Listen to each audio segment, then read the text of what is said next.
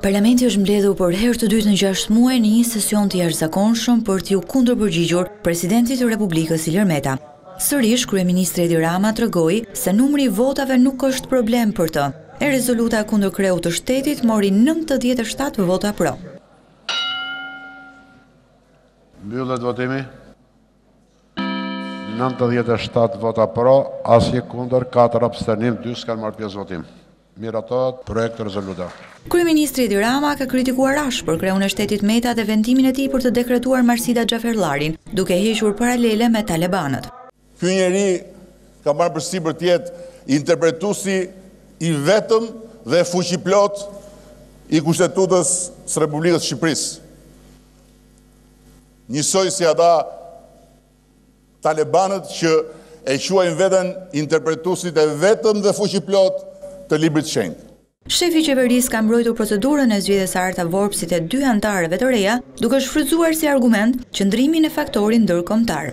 Ne jemi dakordësuar qind për qind me aleatët strategjikë.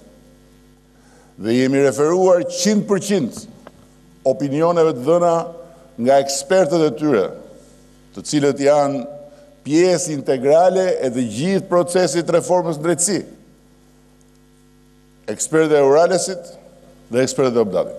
E duke pasur votat për të ndërhyrë në ligj dhe në Kushtetutë, kryeministri Edi Rama ka paralajmëruar se do të ndryshohet kuadri ligjor, për të ndaluar presidentin të bllokojë procesin e zbatimit të reformës në drejtësi. Në asnjë vend demokratik nuk mund të parashikojë se një vendi mund t'i bjerë taksirati të ketë një president si Ilir Meta.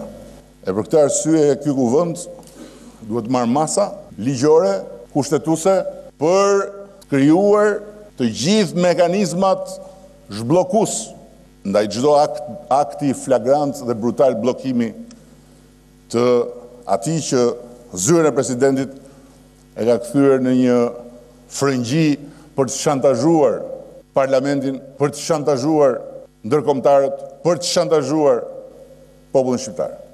Por lideri i mazhorancës e ka zhvlerësuar përplasjen me Ilir Metën, i cili pritet të shkarkohet nga parlamenti në muajin dhjetor. Beteja jonë sot nuk është me Ilir Metën. Beteja jonë sot është me KÇK-në.